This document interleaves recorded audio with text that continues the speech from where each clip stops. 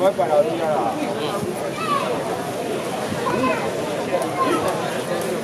học đi thọ kìa.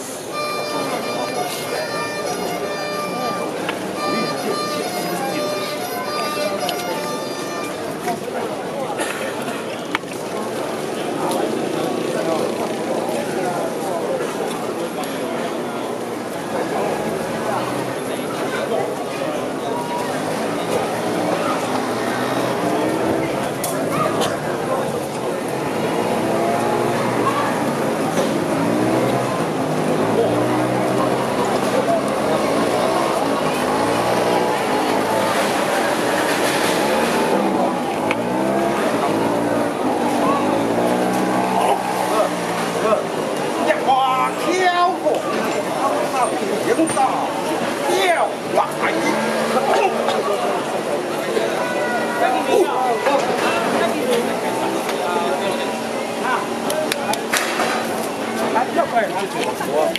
Hãy